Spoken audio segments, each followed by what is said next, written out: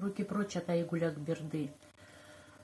Не смейте осуждать эту женщину и сажать ее в тюрьму.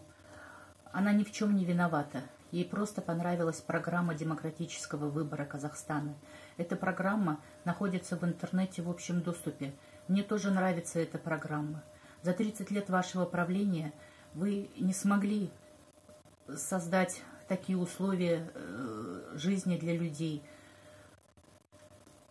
За 30 лет э, мы от вас слышали только обещания. Обещания перерастают уже на будущее, на 2050, на 2030. Знаете, меня, может быть, в, этом, в то время уже не будет, но хотелось бы пожить в хорошем, цветущем Казахстане. Руки прочь от, от Сайрангуль.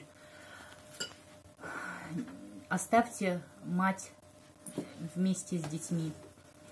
По вашему указу, когда-то из Сирии вывезли женщин и детей – что же вы делаете с нашими женщинами, которые внутри Казахстана?